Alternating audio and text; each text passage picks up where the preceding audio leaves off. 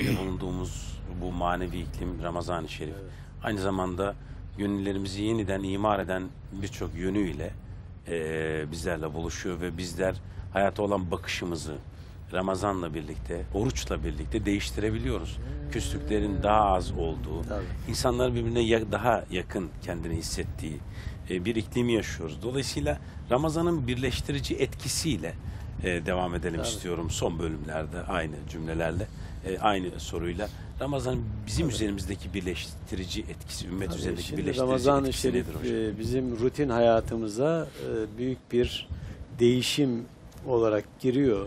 Hayatımızda bir inkılap meydana Getiriyor. getiriyor. Hayatın rutin akışını değiştiriyor ve yeryüzünün neresinde olursa olsun aynı vakitte kalkan, aynı vakitte Rabbına niyazda bulunan, aynı ibadetleri tekrar eden, aynı duaları, aynı yakarışı dillendiren bir ümmeti, manevi bir ümmeti meydana getiriyor. O his birliğini tahkim ediyor.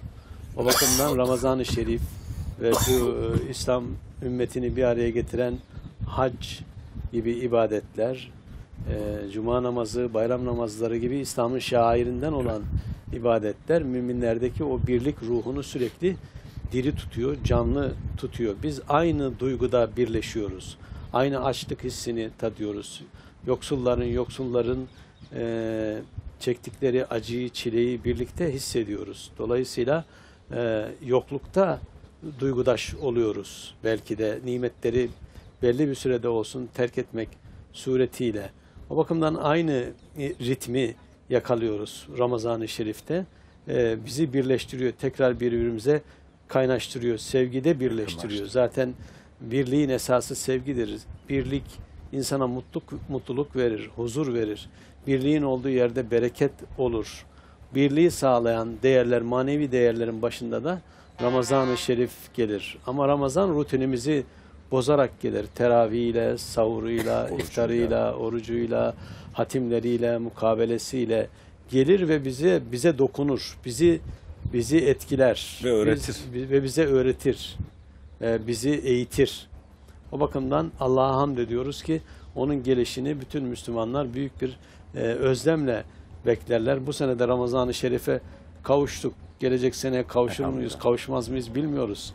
Gelecek sene tekrar burada bu serinliği tadar mıyız, tatmaz mıyız Evet. bilmiyoruz. Ama şu anda biliyoruz ki ülkemiz başta olmak üzere İslam dünyasında milyonlarca insan efendim iftar sofrasında aç bir ilaç bekliyor.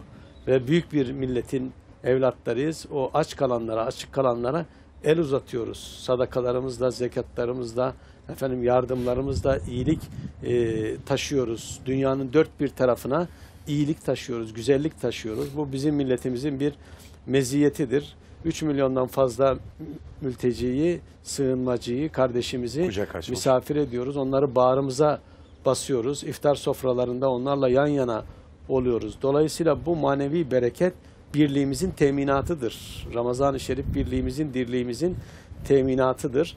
Kur'an'la tekrar buluşmanın, Kur'an'ın o diriltici nefesini hissetmenin ayıdır, demidir, vaktidir.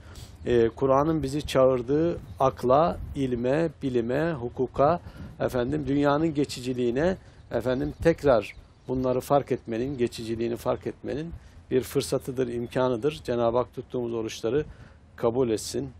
Amin. Dergah-ı İzzetinde. İnşallah.